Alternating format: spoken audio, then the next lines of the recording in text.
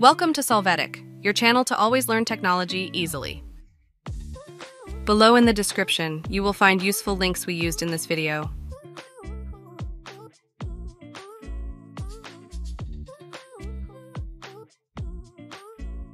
Today at Solvetic, we will see how to change the time on a Samsung Galaxy Watch 6. The first thing we have to have is well connected our Galaxy Watch with the phone as we see in the link above. We start by sliding the screen of our Galaxy Watch down to see the shortcuts and click on the settings icon. Next, we will enter General. If we look at the date and time option here, we will see that we cannot modify it because it is synchronized with the phone, so we will go to it to configure it.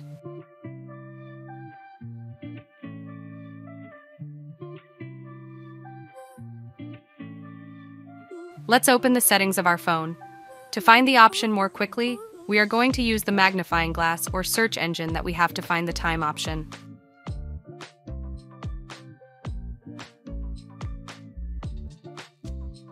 Here we will be able to make the adjustments related to the time. If you want to set the data manually, you will have to turn off the set time automatically option.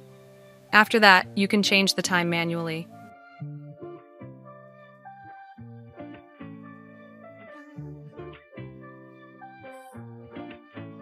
Hey, remember to subscribe Solvetic channel.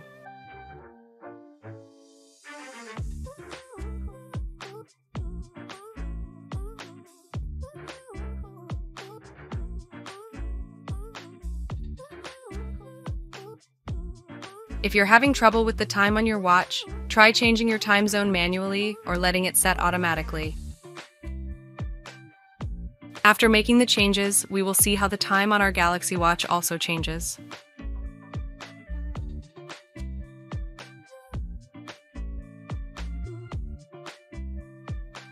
If it does not change automatically, disconnect and connect the watch to the phone again.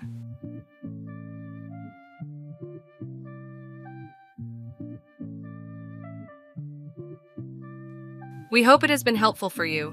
Here are links to watch more videos of your interest and subscribe to the Solvetic channel. Thank you.